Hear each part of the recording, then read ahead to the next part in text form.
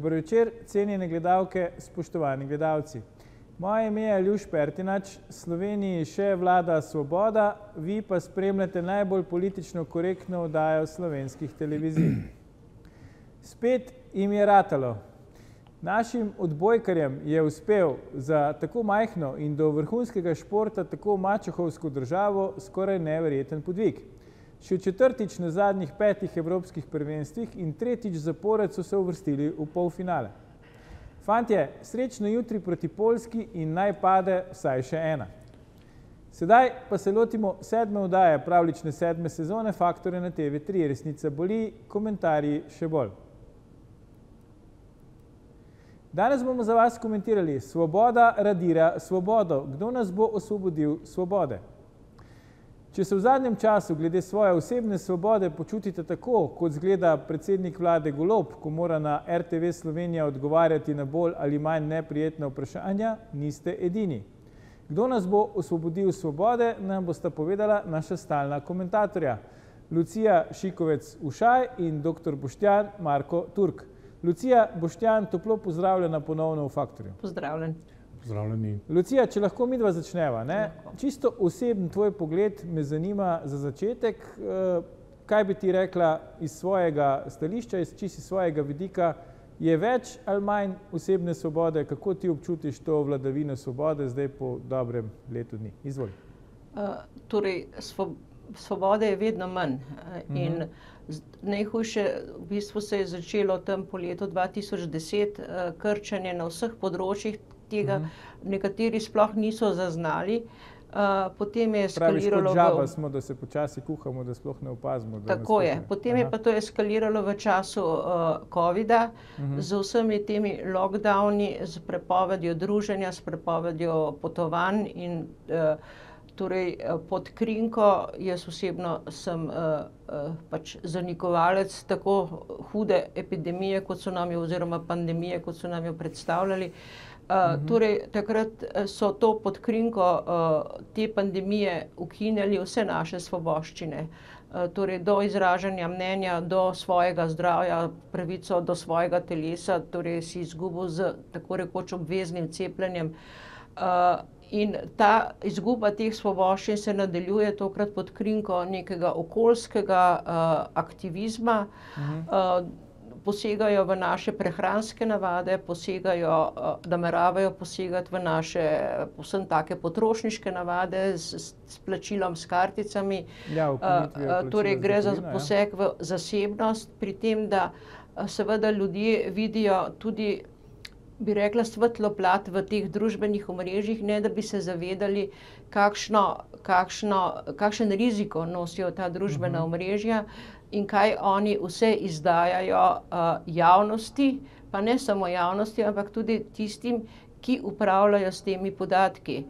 Včasih v Jugoslaviji je bila zloglasna Udba, danes je vsak svoj udbovec, in vsak sebe razkrinkava in ovaja, vse svoje najbolj intimne misli, razkriva na teh družbenih omrežjih, s plačilom s kartico razkriva, kje potuje, kje nakupuje, kakšne so njegove navade.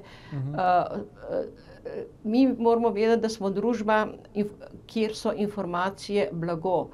In informacije se brez dvoma prodajajo. Vsak od nas, ko je zbiral vozovnice letalske preko interneta, je opazil, da če se ni v hipu odločil za neko letalsko linijo, je v naslednjem klicu, ko se je vrnil nazaj na stran, bila že višja cena vozovnice. Torej nekateri, ki več potujemo, smo pač, uporabljamo neke računalnike, da iščemo, prevoznika in oziroma čas, ne, datum in tako naprej, in se potem logiramo na nekem drugem računalniku, kjer kupimo to vozovnico. Skratka, tudi podatek o tem, da gre cela družina na dopust, je blago, je tržno blago, ker, nekdo nekje bo izvedel, ali bo plačal za to informacijo ali bo vdrl v neki sistem, vemo, da ni sistema, v katerega se ne, ne vdre. Če se je v Nato, v CIA ali karkoli že vdiralo, bodite brez skrbi, da se v te sisteme toliko lažje. Kar pomeni, da bo, da imajo lahko vlomilci nenazadnje kompleten spisek tudi časovno povedano, kdaj bojo ljudje šli na dopust, koliko, jih bo, koliko časa jih ne bo, koliko Ja. časa je hiša prazna. Skratka, uh, plačilo z gotovino, če lahko še to dodam, Ja, izvoli. pomeni hkrati ne samo, da nadzor, torej najbolj kratkovidno bi rekla, je to, da ljudje mislijo, da je to nekaj, kar si želijo lopovi, Ja, če se tako izrazim, ker bomo brez skrbi. Lopovi bodo našli pot, ko bomo plačevali s karticami, ravno tako, kot so jo našli takrat, ko plačujemo z gotovino. Prizadeti bomo normalni, pošteni državljani, ampak kartice pomenijo, da te bojo omejili pri nakupu mesa, če se bojo odločili, da lahko na, leto, na mesec poješ, ne vem, kilo mesa, ko boš imel kilo Ja. ja. mesa že uh, potrošenega, ti bojo omejili kartico in eh, konec. Razumeš, kaj hočeš reči. Ja, zdaj, kartico ti lahko prav tako kot gotovino ukradejo žep, ampak pri kartici ti lahko ukradejo še identiteto, pri gotovini ti pa te ne Tako. morejo. Tako, mislim, eh, gre, zato bi jaz, oprosti, bom Ja. pa vseeno malo agitatorja pozvala ljudi, ki gledajo, naj dajo svoj podpis eh, na upravni enoti ali preko elektronske pošte, da se uvede plačilo z gotovino, da, da se to da v ustavo. Lahko kdo želi s karticami plačevati, mirno plačuje naprej. Ne? Ja, Ampak Slovaška ima že. ne. Ne? Ja. Avstrija bo dala to v ustavo in uh, ne vem, zakaj bi mi ostali spet nek poskusni zajec za vse, kar, Ja. se, ne, kar si neka elita spomni. Ja. Torej, uh, vsekakor za me pomeni vse to poseg v mojo zasebnost, poseg v mojo svobodo gibanja, poseg uh, v, v ne nazadnje v, v moje potrošniške navade in Mhm. uh, to je izguba svobode. Ja. A, zdaj, Boštjan, ne, predvsej Orvelovski, pa tak dolg uvod si je vzela Lucija, nadaljujeva midva. Ti imaš eno tezo ne, v zvezi s svobodo, ki bi jo Ja. rad povedal. Izvoli. Ma ne, mislim, to, to je bilo čisto, to je bil čisto redo uvod v uh Mhm. -huh. odvetnice. Mislim, zelo težko bom jaz ponovil, kaj bi rekel spet tako predmetnega, ampak se bom, bom rekel, bom vzel to kot izziv. a ne. Ja, pravilno. E, e, torej, ja, jaz sem, nisem razmišljal. Ne, pač, um, e, torej, Golob je 16. decembra mislim, 2022 a ne, prišel na plan, ne, da bo ustanovil gibanje Svoboda. Ne, uh Mhm. -huh. In uh, takrat je povedal ti znameniti stavek, a ne, da to dela zato, ker je v državi na oblasti fašizem, se pravi Janševa vlada in tako ne. In jaz sem se vprašal, kdaj je bilo to že, da je nekdo uh, zahteval in rekel, da bo uvedel svobodo in pa da je bil na oblasti oziroma da je bil v državi fašizem. Ja, to je bilo natančno 26. aprila 1941, ko se je rodila osvobodilna fronta in zdaj ne me prosim narobe razumeti, zdaj sem vzel, bi rekel, neke vrste zalet nazaj, ampak bom stvari postavil popolnoma v, logično, v logičen položaj. Namreč glede na to, da doživljamo strahotno ideologizacijo, predvsem strani eh, stranke Levica, ne, ta država je popolnoma ideologizirana. Ne, to, je, eh, to, je, to je pač nesporno dejstvo ne, in to je agresivna ideolo ideologizacija. Ne. Se lahko vprašamo, kje so korenine tega. Ne? Korenine tega so točno to, da doživljamo osvobodilno fronto.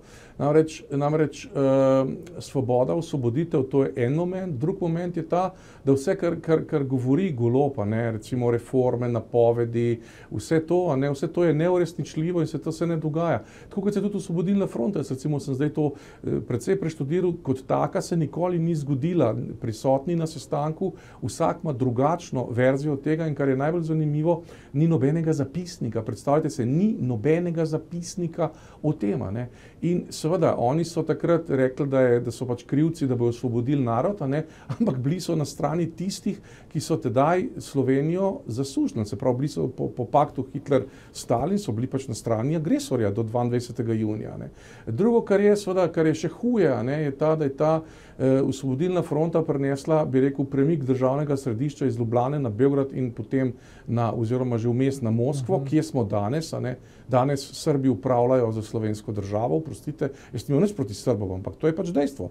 Eh, Vrhovno sodišče, oba župana in tako naprej, ne, Mhm. kje da ni, ne, in seveda ta država gravitira razumljivo k, k Moskvi. To je pač njen puls, to je puls predsednice, to je puls nekdanjega predsednika Kučana in tako naprej.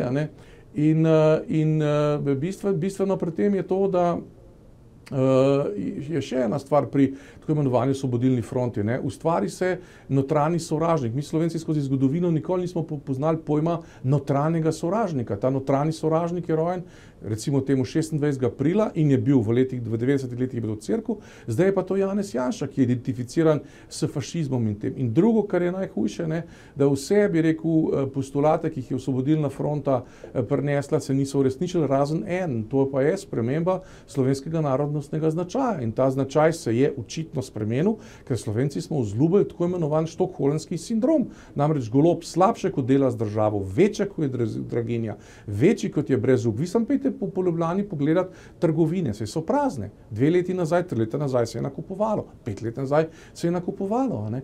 In zdaj to, pač, to je pač nek manever strašne idealizacije, ki ima za namen, tukaj pa končava, uh -huh. e, Kuča in ostali, ki so to, bi rekel, eh, montirali to osvobodilno fronto v postmoderno oziroma v, v, v slovensko državo. Ne?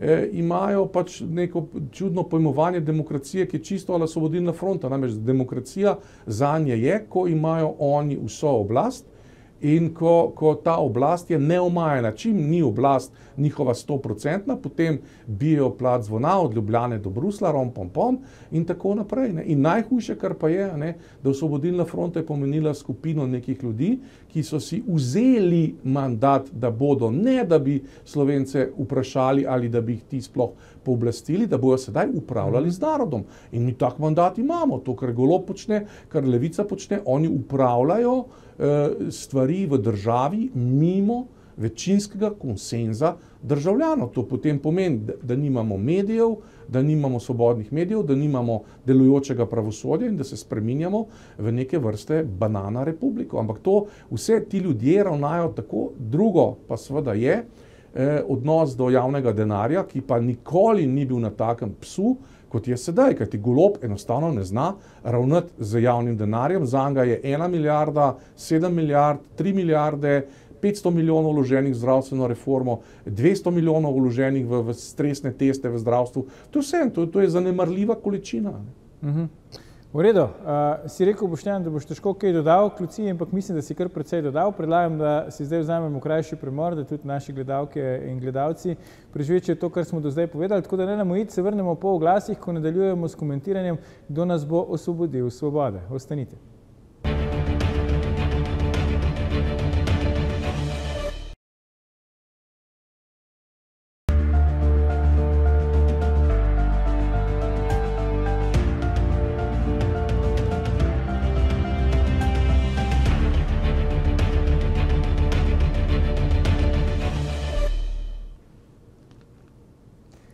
Ponovno pozdravljeni, z nami sta še vedno naša stalna komentatorja, Lucija Šikovec Sušaj in dr. Boštjan Marko Turk. Pogovarjamo pa se o tem, kdo nas bo osvobodil svobode. Lucija, ti si v prvem delu rekla, ne, da pač pri nas se kažejo neki globalni trendi na področju omejevanja svobode. Boštjan je iskal usporednice ali pa korenine v zvezi s tem v osvobodilni uh, fronti, ne. ampak če zdaj tu nadaljujemo debato, zdaj, če že govorimo o osvobodilni fronti, pa v bivšem režimu, v bivši skupni državi, ukazana solidarnost, ne vem, kako bi temu drugače rekel, ne? se pravi solidarnost, ki jo na nek način zapovedana z zakonom. Ne? Zdaj, jaz, če kaj, sem imel zmerom občutek v tem svojem kratkem, ne, če se malo pohecam življenju, da Slovenci smo solidarni, ne? da takrat, ko je najbolj treba, znamo stopiti skupaj, pač pomagati drug drugmu in tako naprej. Ne na zadnje so tudi te zadnje poplave to dokazale. Zakaj po tvojem mnenju uh, pač aktualna oblast ne zaupa tej naši da rekel, na rekovajih, prirojeni solidarnosti in misli, da ne more to solidarnost zapovedati. In drug del vprašanja, a je zapovedana solidarnost sploh še solidarnost po tvojem? Uh, jaz bi rekel, da je, da, mislim, uh, kot veš, uh, jaz nič ne skrivam, jaz sem volila stranko Svoboda. Okay. Uh, zakaj sem jo volila? Zaradi upanja, uh, ki ga več ni, no? tako mi uh -huh. grede. Skratka, spet je bil moj glas narobe dan. Uh, Uh, tako da težko razlagam, uh, tist, torej, gre za eno veliko razočaranje, ko ugotoviš, da človek, ki je sproščeno šel na volitve, ki je dobil uh mhm. -huh. Neverjetno število glasov, nekaj tudi seveda iz uh, refleksa anti-Janša, tukaj se strinjam. Uh -huh. uh, več pa bi rekla zaradi nekega, pa ne se sliši hecno, uh, tudi uh, gospod Turk je v svoji knjigi to hipijsko gibanje opisal negativno, jaz, ko sem rasla takrat, sem ga jemala kot pozitivnega in meni je deloval uh, golo, pravzaprav tako en hipač, ja. sproščen človek, ki bo, rok, vse, ja, ki bo prinesel neko sprostitev. Bili ja, smo ja. V, v, torej v vseh tistih lockdownih, vseh tistih grožnjah, uh, nekateri označeni za morilce, ker necepljeni ne bi okužili cepljenje, bog razumi. Uh, to pamet, ampak uh, ko je prišel on, je prišel s tistim, gremo na morje, imam COVID, lejte, tukaj sem, Eva, vse je krasno. Skratka, on je vzbudil upanje, da se bo zaključila zgodba uh, od leta 20 do leta 22. Žal se seveda ta zgodba ni zaključila, ampak mislim, da mhm. tukaj ni, ne, to ni on. Ne. Hočem reči, to ni samo golob in njegova, njegova politika, ampak se je upel zelo hitro v te globalistične evropske trende, Evropske komisije, nikoli izvoljene strani državljanov Evropske unije, če tako rečem.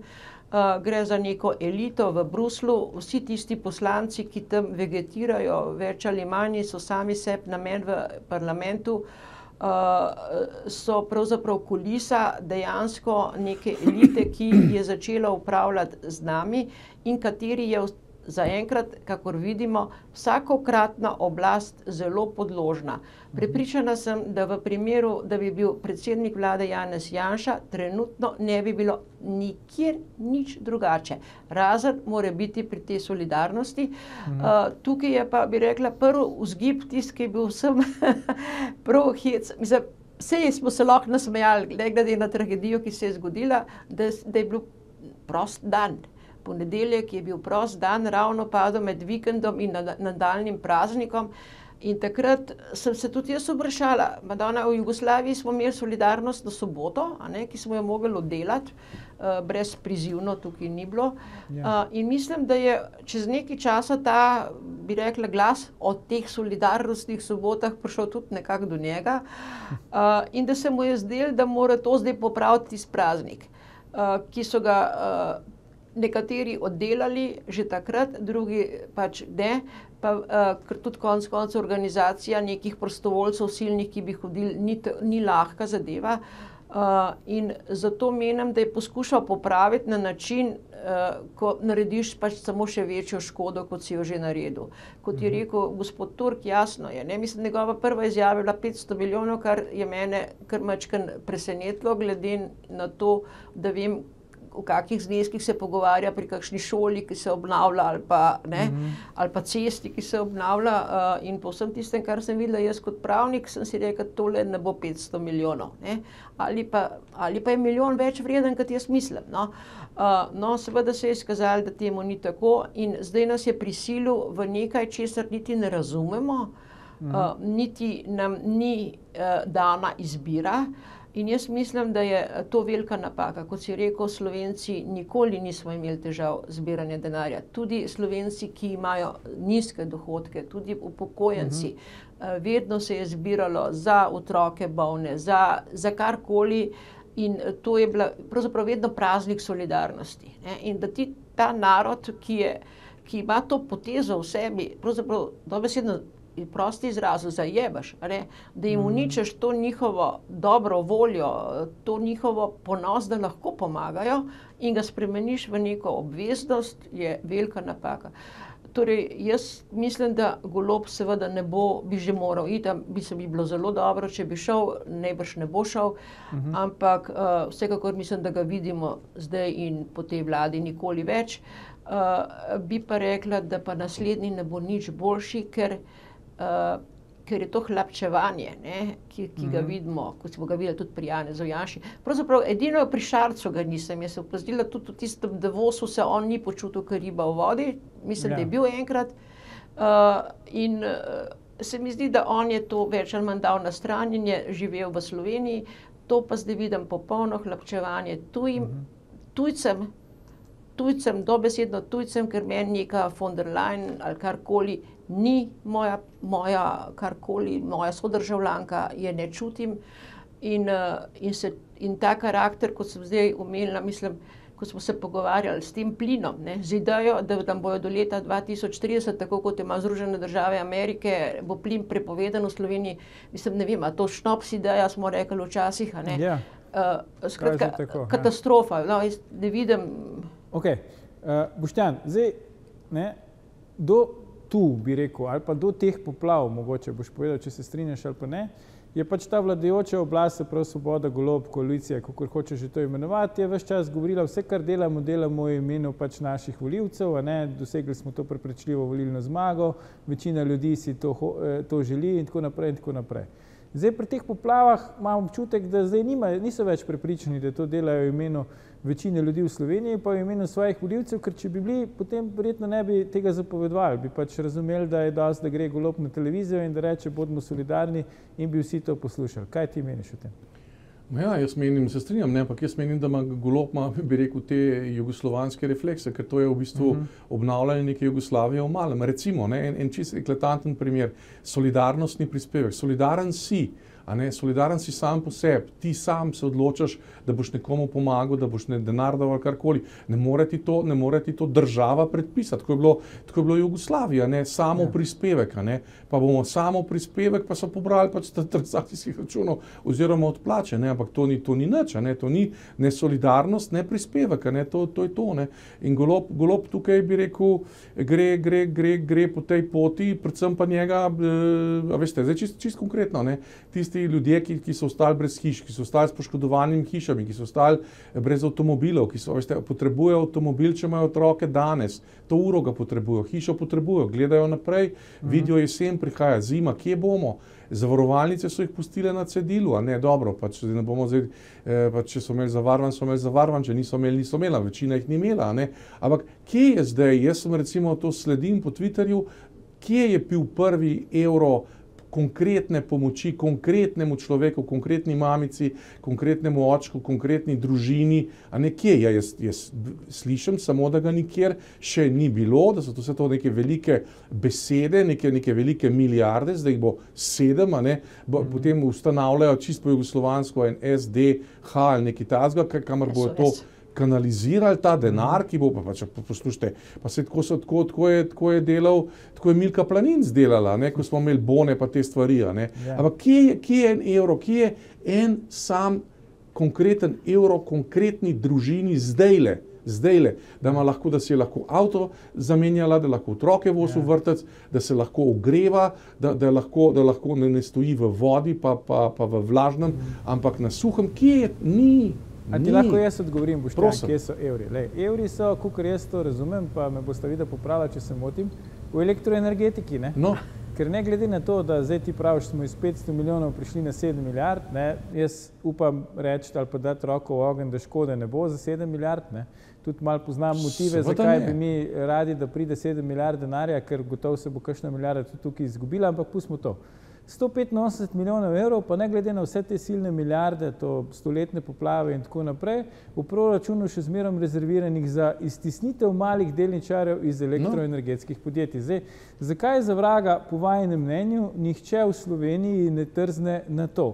Tako te, ki so na oblasti, v koaliciji, ker gotovo nimajo vsi prijateljev, ki so delničarji te mali, teh elektroenergetskih podjetij, tako kot jih ima verjetno golob, in bojo ti prijatelji zaslužili, če bojo lahko prodali svoje delnič, delnice. Vsi moramo vrčevati, prisilno moramo biti solidarni, ampak edino elektroenergetiki pa ni treba biti solidarna, pri čemer nihče ni rekel, da bo teh 185 milijonov kaj pocenil eh, pač eh, energijo eh, pri nas. Kaj vidijo pravite na to, Lucija? Aljuš, ko ti narediš državljane nezainteresirane za, uh -huh. za torej, javne zadeve, za res publika. Okay. Torej, ko narediš, da, da jih to ne zanima, ker je to preveč zahtevno. Ko ti poneumiš kompleten narod s temi šolami, za katere vemo, na kako nizkem nivoju so. Ko vidiš, kakšni so mediji, ko vidiš ta družbena omrežja, enostavno ljudje se ukvarjajo s popolnoma ne, ne vem, kdo kaj kuha, kaj je skuhala neka, kdo je dobil mišljidove zvezdice, pa to niti ni tako nepomembno, ampak koliko stane hrana v eni gostilni, ti jim vržeš nekaj kiflici, ne samo gostilni, tudi koliko stanejo rogliči, ne, če smo že pri tej analogiji. No, ja. Skratka, ti, ti poneumaš ljudi, da jim mm. lažje vladaš. Ker jasno je, da bolj ko bodo uh, spraševali, bolj ko bodo se informirali o, o nekih milijonih, ne, bolj ne, neugodni državljani bodo.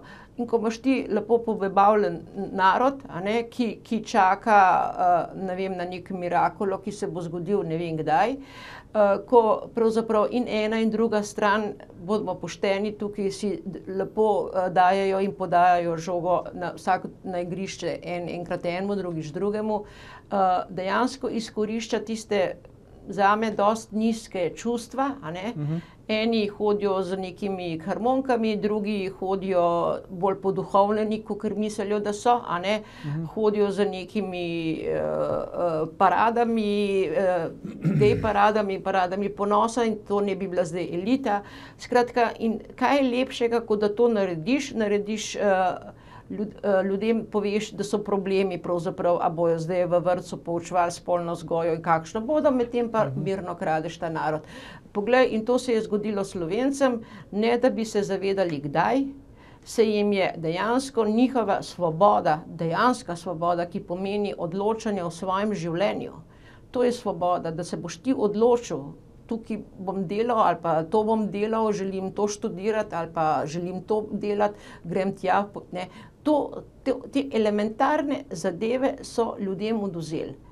In ne, da bi se ljudje sploh zavedali, da se jim je to vzelo, in s temi raznimi reality šovi, kot vemo, z mediji jih pač jih delaš lažno zadovoljne, uh, medtem pa mirno upravljaš tako z njimi, kot s kapitalom države. Ne. Ja. To je zgodba, ki je precej žalostna. Poštjan, kako lahko teh 185 milijonov evrov iztrgamo iz rok eh, pridobitnikov v naši elektroenergetiki? Jaz strokovnjak za elektroenergetiko nisem, ne, ampak to je samo vidim, pa bi rekel, splošno zgodbo, ne, vidim, vidim glavno sliko.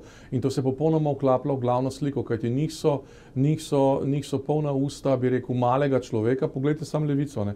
njih so polna usta malega človeka, ampak za malega človeka eh, naredijo, ne, naredijo, ne naredijo nič, eh, ampak se samo, eh, bi rekel, ukoriščajo, ukoriščajo, ukoriščajo na njegov eh, račun. a ne. In to je, to je ena stvar, druga stvar je pa ta, da, da, da, da, da jim je popolnoma vseeno, ne, za to, kar eh, se pravi.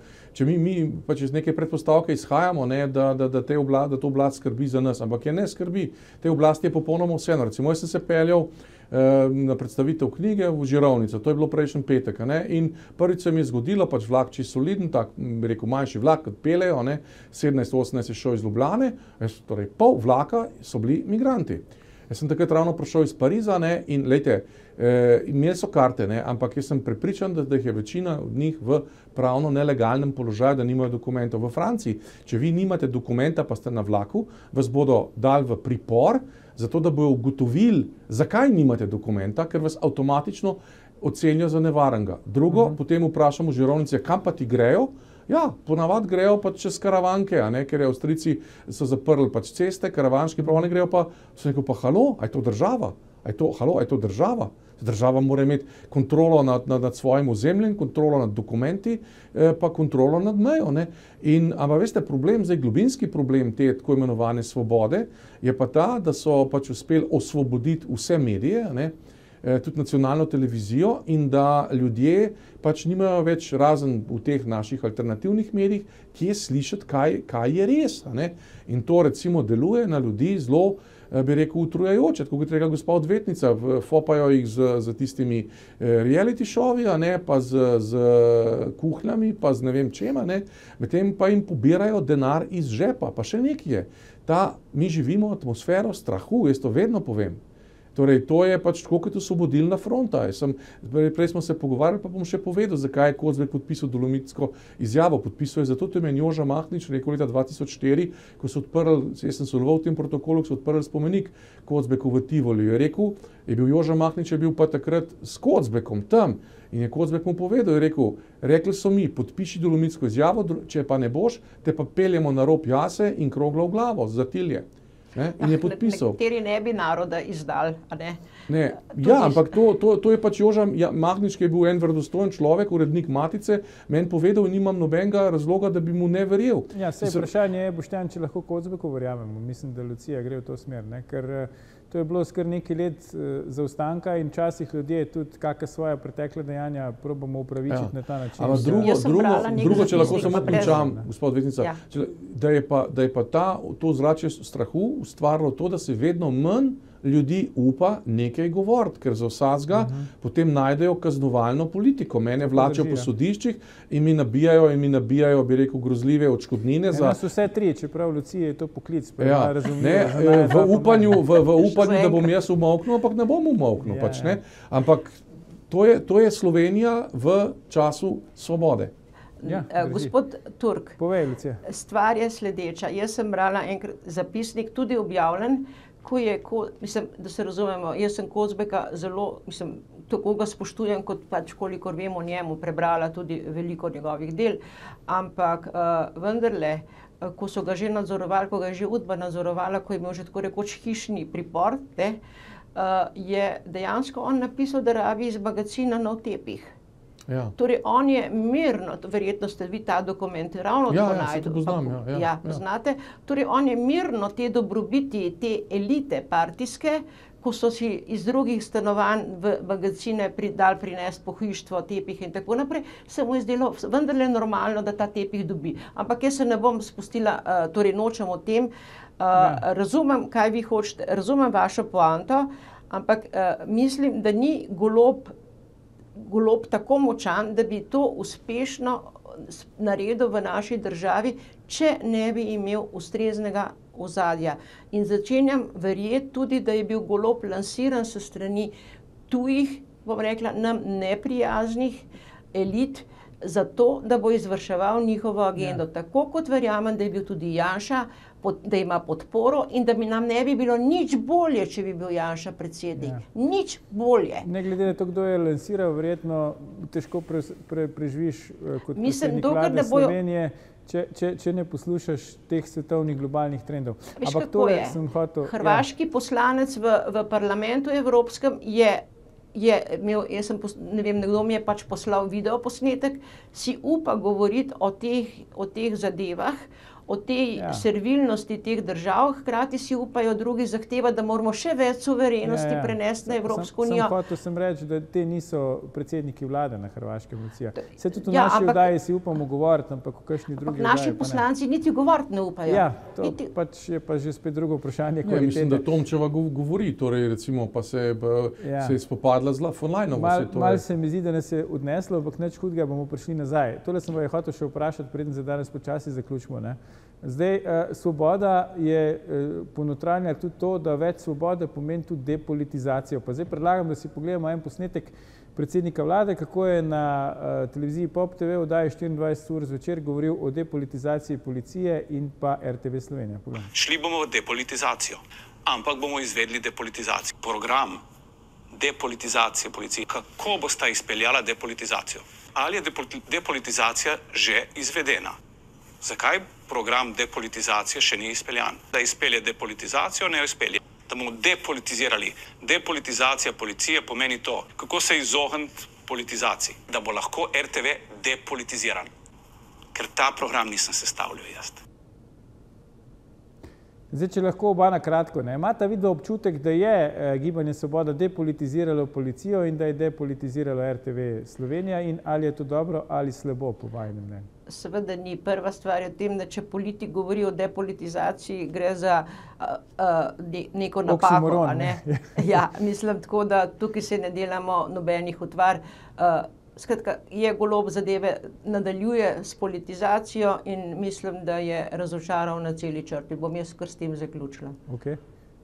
Ma ja, seveda, se, se, se človek ne more ne strinjati. Ne? To je pač samo, to je tako kot osvobodilna fronta. je Osvobodilna fronta osvobodila slovenski narod. Ne, osvobodili so ga Rusi. Pač, uh, ruska armada je pač premagala Nemce in jih po, potisnila kje do Slovenije, so pošli vsi na Koroško in to je bilo to. Ampak eh, to, to, je pač, to, to je pač ta govor. To, to, to takoj vidiš. Potem oni to pomeni. To, eh, razumeti morate tako kot po Orwellovsko. ne. To, kar če golob pravi depolitizacija, to pomeni še tisto, kar je zadnje ostalo normalno in kar je nek, predstavlja nek, nek, nek civilen mehanizem, eh, še tisto bomo mi, bi rekel, likvidirali in nadomestili z ljudmi, ki so docela lojalni in bomo, se pravi, bomo politizirali. ne. To, to, se pravi, to izjavo na Pop TV-u, goloba morate razumeti, policija je sedaj do konca politizirana, zato ker jo v celoti obvladujemo, ne glede na, ta, da, na to, da ta Jušič ne izpolnjuje pogojev, mhm. eh, ne zna pa je slovensko in eh, še ena zadeva je, ne, ki pač, ampak to je zdaj naš človek, ker tako kot Forlajnova, ne, Forlajnova v moji knjigi sem natančno navedel, da je, da je 43,5 svoje doktorske dizertacije poneverila oziroma plagirala, uh -huh. ne, hkrati je ujeta v zdaj škandal Pfizer, v ne vem kaj vse in tazga človeka ti lahko držiš, tazga človeka ti obvladuješ, tazga človeka imaš na marioneti. Ja. Eh, Lucija, čisto za konec, kdo nas bo osvobodil svobode? Sami se bomo morali, Sami, mislim, uh, sami Slovenci, ne enkrat resnično uh, pre, spregledamo, no, vsi skupaj, torej jaz torej, priznam, meja culpa, en glas je bil moj k neumnosti, prispevek k slovenski blaznosti sem tudi dala. No. Tako da žali Bog, Vsak se eh, kdaj zmoti, Lucija. Nihče sem se zmotila in se ke sam, napak, ja. to je to. Ok, Boštjan. Pa ja, pa se mi, mi, se, pa se mi trije smo popolnoma svobodni, oziroma celo mislim, da ta oddaja postavlja nek nov standard, ker si ne vze, mislim, mi smo izredno pogumni, vsi trije. Ne? Tudi gospa odvetnica, mogoče kot ženska, je še, še posebej pogumna. E, to je, in, in to je pač to, kar je treba. ne. To je, to je pač to, kar je treba, da ostaneš človek in svoboden človek. To je to. Ja, ampak zdaj, a bo dosti, da se mi to med sabo pogovarjamo, rabimo neko ljudsko inicijativo, rabimo kakšnega politika, ki se bo postavil na to, tega. to jaz, jaz vidim, da faktor, toliko, toliko ljudi mene pozna po faktorju. Vse to doseže določen krok, potem ljudje govorijo, ne, vse, vse dobre ideje, vse bi rekel eh, pozitivne drže, a ne, se prej ali slej razširijo. To je tako, kot eh, bi rekel, to je tako kot Slabe božja sicer milost. hitrejš, dobre, kot počasneje, Ja. ampak, ampak jaz tudi verjamem, Zgledi, da ne, to mi je. zgled, ne, mi trije smo zgled. Ja. Okay, zdaj, če, če smo že tako danes govorili o Svobodilni fronti, ne, tudi v Partizanih so vsako zimo rekli, da je zadnja zima, pa vemo, da ni bila. Zdaj, kdaj bo prišla po vašem mnenju ta osvoboditev, tako da vemo malo planirati? Torej, jaz sem optimist in, in, in računam in čakam na maj. Aha, maja drugo leto zdaj. Drugo maj leto, je, ja. veš, vsako leto praviloma je maj. Boštjan?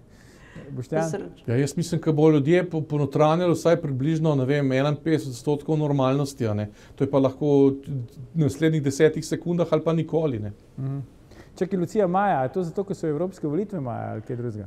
Da, Ja, Maja se bo najbrž v Evropi obrnil. Ja. To sem, A, jaz a. mislim, da ja. Uh, ampak mislim, da, da počasi prihaja, torej jaz poslu, mislim, veliko ljudi srečam, a ne, veliko na, takih in zanesenjakov, navdušencev, kot sem bila jaz, ne, torej, mm -hmm. ki smo padali na, uh, bom na, delno na izgled. Ne, s- ti si enkrat nekje rekel, da kot Samson in Dalila, ne, mislim, uh, dejansko je to res. Ne, Bev, to je moj mož meni rekel, ko je rekel, kar je ustrižen, ti več ni všeč. ampak, ampak eh, dejansko mislim, da smo sprevideli, da je žal, žal, žal uh, uh, dejansko samo na, napihnen balon, ki je počel zelo hitro. Prav, pa dajmo tu pri tej bli- biblični primerjavi končati, ne? čeprav vemo, Samsonu so lasje potem ponovno zrasli, mogoče bo tudi predsedniku vlade Robertu Golobu, kaj pa vemo oziroma kdo pa ve. Za danes pa Lucija Šikovec Ušaj, dr. Boštjan Marko Turk, najlepša hvala za vajne današnje komentarje v naši vdaji. Gledalke, gledalci, to je bil o tem, kdo nas bo osvobodil svobode, že 915. faktor na TV3.